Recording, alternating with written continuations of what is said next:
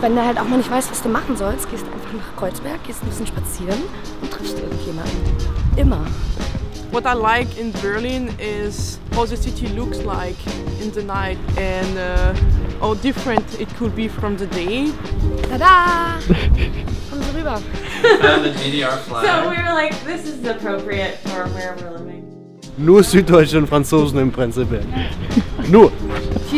So ein bisschen mehr der Überlebenskampf. Das klingt jetzt so dramatisch, aber so ein bisschen mehr der Überlebenskampf wirklich auch da ist. Äh, Zurzeit mache ich gerade eine Umschulung als Koch. Bisschen auf und ab, weil man halt wenig Kohle hat. Bin gerade momentan noch am Schnorren, überall in Ostkreuz und Friedrichshain. Äh, I've absolutely no idea where I will be like, in a year.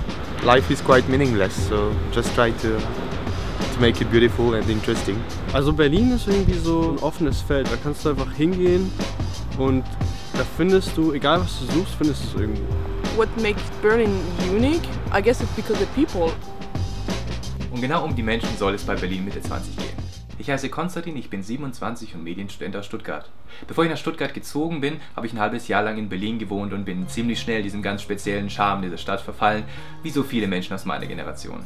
Was mich an Berlin besonders fasziniert, ist, dass man hier auf engstem Raum so viele verschiedene Menschen aus allen sozialen Schichten und Ecken der Welt trifft. So ist auch die Idee zu dem Channel entstanden. Berlin Mitte 20 wird eine fortlaufende Reihe von kurzen Videoporträts sein, alle zwischen 5 und 10 Minuten lang, die das Leben von jungen Berlinern aus allen Gesellschaftsschichten zeigen werden. Der Fokus liegt dabei hauptsächlich auf Menschen zwischen Mitte und Ende 20.